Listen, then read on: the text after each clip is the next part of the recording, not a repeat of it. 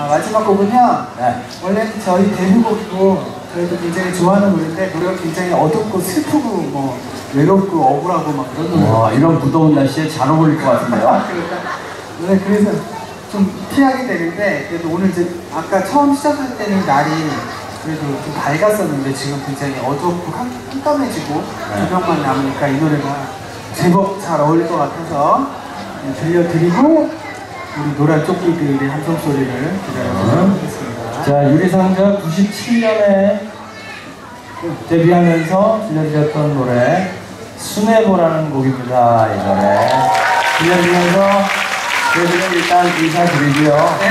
앵콜 준비하고 있을게요, 여러분.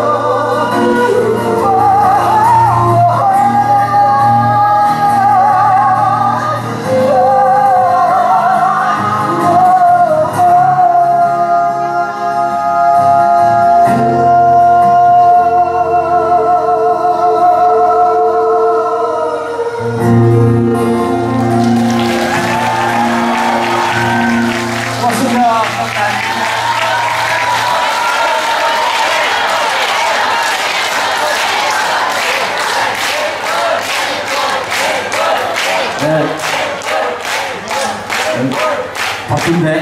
아니,